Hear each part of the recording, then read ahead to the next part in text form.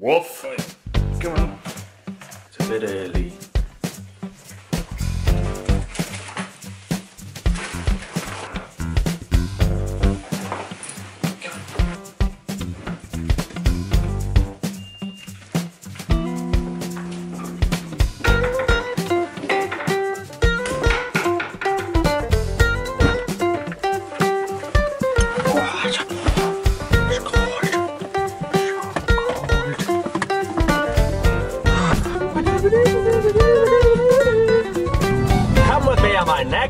I'm gonna take off this and this, because otherwise I won't feel the benefits when I get out. Much better. We are locked in on the sat nav, saying 99 miles. Gonna get there at 9:24. And today's adventure is with Bonnie and me. Um, we are off to the Lake Districts to have a weekend of pet gun dog training uh, run by Jane Arden. So I've seen Jane at the APDT activity weekend and knew that she's well respected and lots of people said a lot of positive things about her course. So I thought, hey, let's give it a go. Let's have a bit of time for just me and Barney and uh, yeah, see if I can learn a few more bits and bobs because I probably don't use his gun dog brain as much as I should do, but that's what this is for.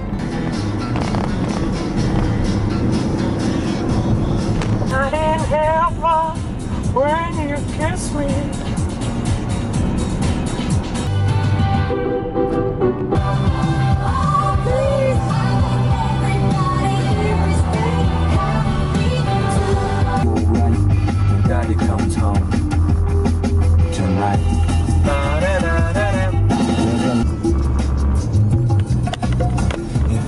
So me and Bill have arrived. Come on, dude. And it's a glorious day in Coniston.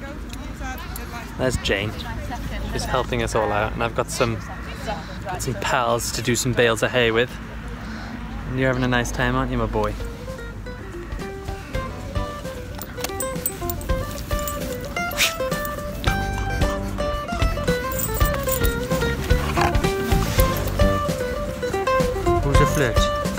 Chifre.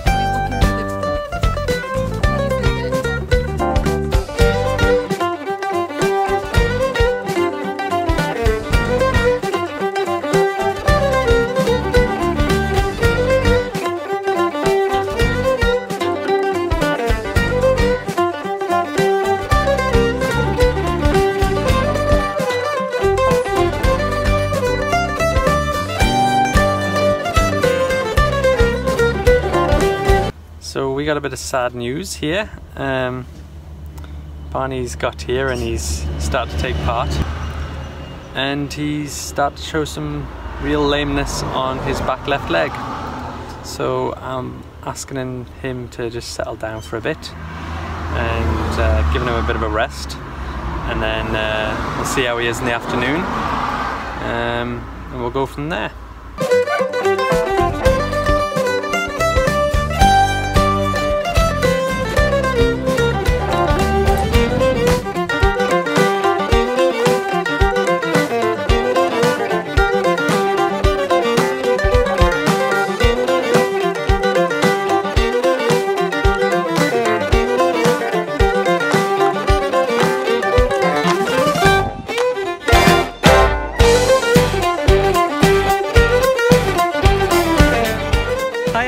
Sandy, and Sandy owns and manages uh, Coniston Cottages.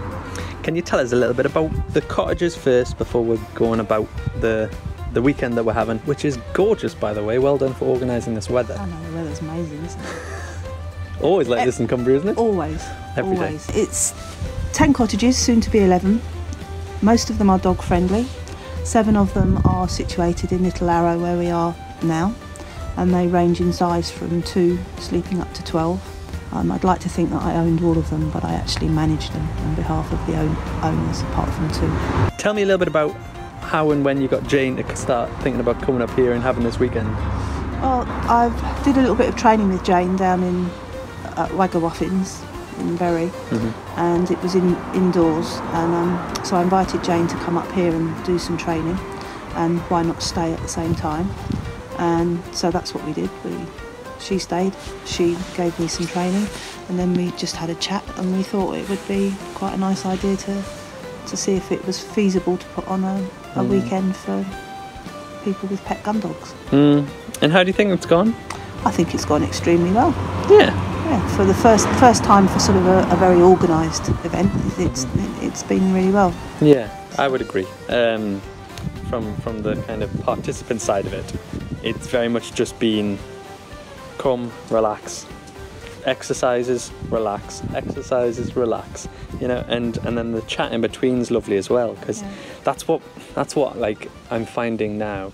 The more that I'm in the dog world, the more that I'm like uh, wanting to spend time there, but not wanting it to be overly pressurized, and just to spend time with your dogs. I think that's the the best part of it Mm. because everybody here's got a gun dog of some description, and it's just working with your dog and just having fun. Really, Yeah. that's what it's all about. Have you got any plans of doing something like this again in the future? But there is one planned for March time, which is going to be sort of a variety of outdoor activities that you can do with your dog. Mm-hmm. Um, we have done something similar before, but with on a smaller scale with a group of friends to see how it went. So Mhm. now, having done this one, I think it, I think it is very feasible. Yeah.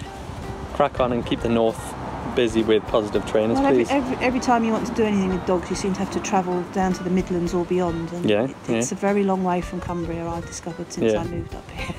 yeah, it is. yeah. Um, and we know there's going to be people that, um, you know, slightly dog mad people like me and you will travel those distances to get the training at times. But there's people that might just go, that's a little bit too far, me dog will be okay. And actually, if we had it local, you know, they might be thinking, oh, let's give it a go. And then they find out something that they didn't know, and that train changes their kind of perception of them and their dogs. And you're thinking, well, there has to be some people who are going to graft on it and make it happen, like yourself and Jane, and maybe me if I uh, find the motivation. It's just saying thank you very much for having us, It's been a pleasure. and um, and we'll look forward to coming back in the future.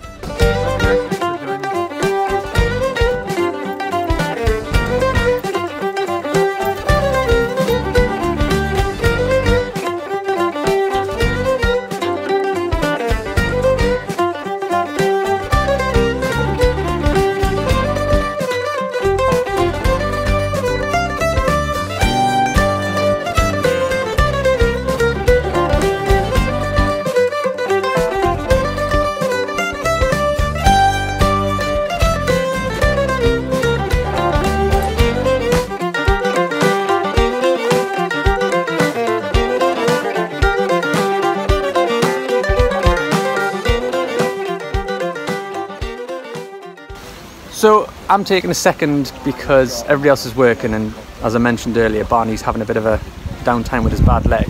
Um, but I thought I'd just grab a second with Jane and just ask her a little bit about the weekend, what's been going on, and and how everybody's been enjoying it.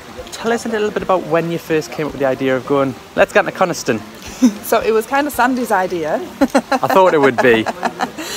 uh, and we discussed about doing something uh, up here. And she mentioned that she had the woods. We've also got the field as well, uh, and there isn't really much going on kind of in the north of England, northwest, from a positive gun dog point of view. Yeah. Um, so we had a little chat and discussion, and I said, you know, we could kind of do like a serious gun dog training weekend, or we could kind of we, we decided to make it gun dog activity weekend, so it was open for people who do work their, their gun dogs, train positively, but also open to the pet dogs as well. Uh, with people because I tend to see a lot of people who've got pet gun dogs and just want to do a little bit more with them. Yeah, yeah. I, I think me being uh, owner of a Springer and not really quite getting it to start off with myself, like finding positive based gun dog trainers is kind of the thing. Yeah. Um, because you'll know if you work their brain for the way that they're meant to be worked, Yeah. you get a different dog. Yeah, absolutely. Um, how have some of the people been getting on? What have, what have the personalities been like that have come this weekend? So we've got a mix of experience, um, different people, different breeds. So we've got some HPRs, Labradors, Spaniels, um, different. Some people come from agility backgrounds, some are just pet dogs, some do work them, and they've all got on really well. Um, the, the, the, the group's a really nice bunch of people. The group's mixed well. Um, really nice for me because they're all really kind of keen to learn. Really pleasant group to teach. So it's been it's been lovely for me too. And just because Sandy's going to be watching, what do you think of the cottages? What do you think of Coniston as a place? I've stayed at the cottages before, uh, so this is uh, the second time I've stayed over, and I just think they're great because Sandy is. Um, it's, it's really dog friendly. She supplies all the covers for beds and so on in the in the cottages. Um, you've got the field there, fabulous walks. I just think it's if, if you've got dogs and you want to get away, it's it's perfect.